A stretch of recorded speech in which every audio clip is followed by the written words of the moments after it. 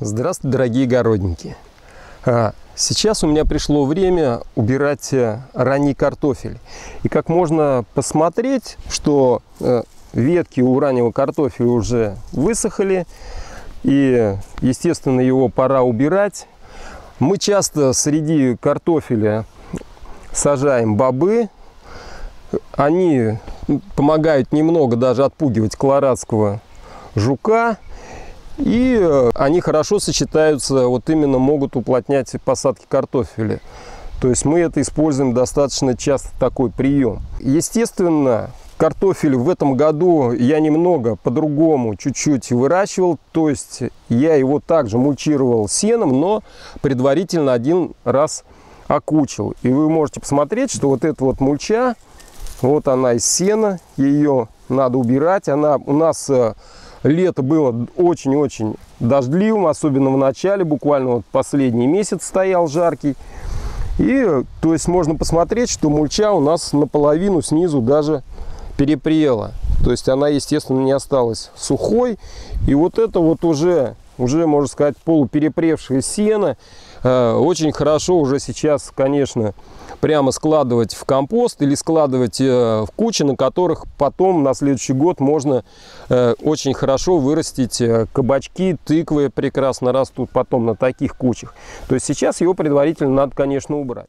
То же время более поздний картофель, конечно, убирать еще рано. Мы убирать его будем в сентябре месяце. Он еще, в принципе, стоит. Еще фитофторы его не совсем убило, то есть достаточно еще зеленой ботва, и он, и он еще может вполне а, порасти и набраться сил.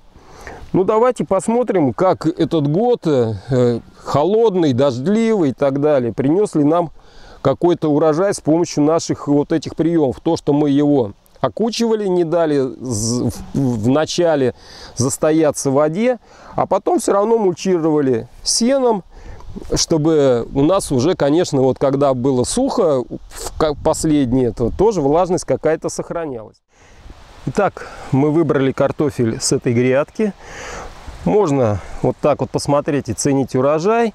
Но для того, чтобы оценить, есть урожайность или нет, могу сказать, что на этой грядке было посажено 30 вот таких или вот таких вот картофелин.